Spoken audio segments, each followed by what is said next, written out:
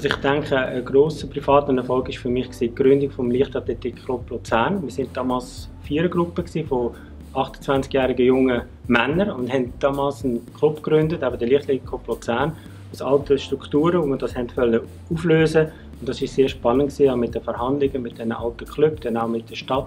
Da hat man sehr viel gelernt, betreffend Taktik und dass man zielorientiert schafft.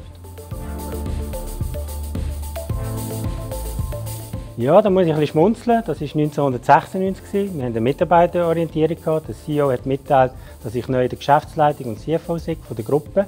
Vorher ist das nicht abgesprochen worden mit mir. Im Nachhinein muss ich sagen, das war pragmatisch und somit ist das schlussendlich auch für mich gut herausgekommen und ich glaube auch für die anderen Beteiligten.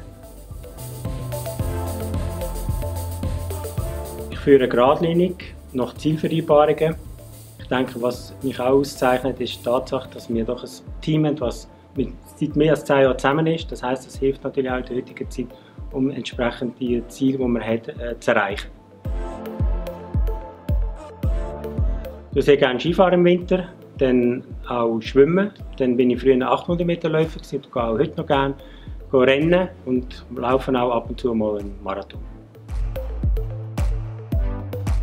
Mich fasziniert bei der Comax, dass ich im Industriebetrieb arbeite.